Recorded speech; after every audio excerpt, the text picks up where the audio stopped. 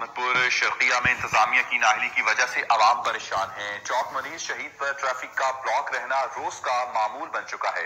देखते हैं हमारे नुमाइंदे आमिर अब्बासी की इस रिपोर्ट में। अहमदपुर शर्किया में इंतजामिया की नाहली की वजह से शहर भर में स्कूल और चौक मुनीर शहीद पर ट्रैफ़िक का ब्लॉक रहना रोज का मामूल बन चुका है।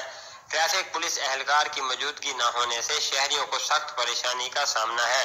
Government girls high school, Chowk, Munir Shaheed पर छुट्टी के वक्त बच्चों और बच्चियों की लंबी लाइनें लग जाती हैं, जिससे कई हादसा रूनुमा हो चुके हैं। ट्रैफ़िक की रवानी भी मुतासर रहती है। रेस्क्यू 1122 की गाड़ी और एंबुलेंस भी कई दफ़ा रश में फंस चुकी हैं। ट्रैफ़िक बंद होने की वजह से मरीजों और शहरियों को सख्त परेशानी का सामना करना पड़ता है। शहरियों ने कोहिनूर न्यूज़ की टीम को बताते हुए कहा, ट्रैफ़िक पुलिस एहलकार की ड्यूटी लगाई जाए। वज़ीर अला पंजाब कमिश्नर भावलपुर से नोटिस लेने का मुतालबा भी किया है। जी ये अभी स्कूल को छुट्टी हुई है। देखें बहुत ज़्यादा रश है। यहाँ पे कोई भी ना ट्रैफ़िक एहलकार मौजूद है ना कोई पुलिस वाला है। यहाँ पे बहुत ज़्यादा मसला आ है। दो दो घंटे जो है ट्रैफ़िक जाम रहती है।